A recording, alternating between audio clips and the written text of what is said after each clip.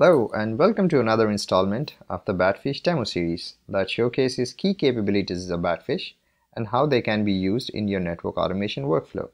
My name is Ratul and in this demo I will show you how you can validate configuration settings with Batfish. Network engineers routinely need to audit device configuration settings. In a heterogeneous multi-vendor network, this is a difficult task. It's difficult because the configuration syntax differs across vendors and even for a given vendor, there is no one canonical way to configure a setting.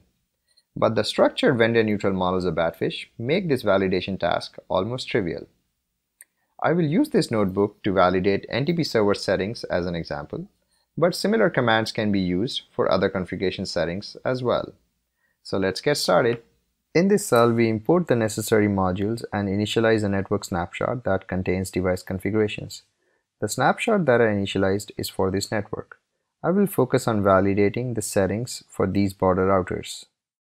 Before we can validate the NTP server settings, we extract them using the node properties question as shown here.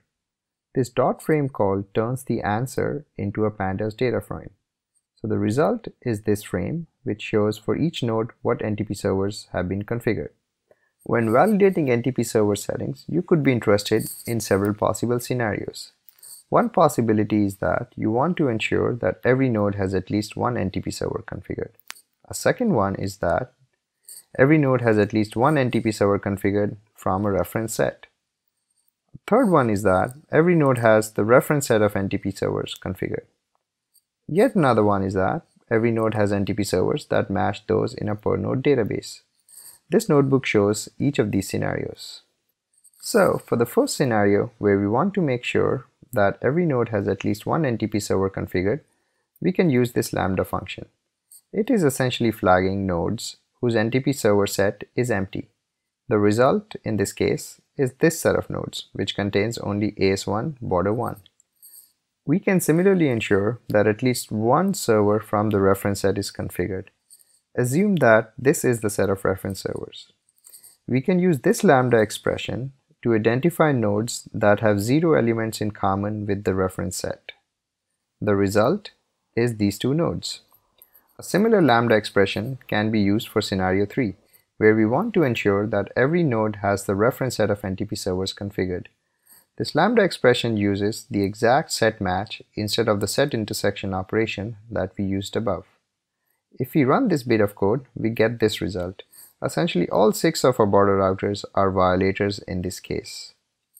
With a little bit of pandas magic, we can also see what the differences are in reality. This line here is computing nodes that have extra servers and which those servers are.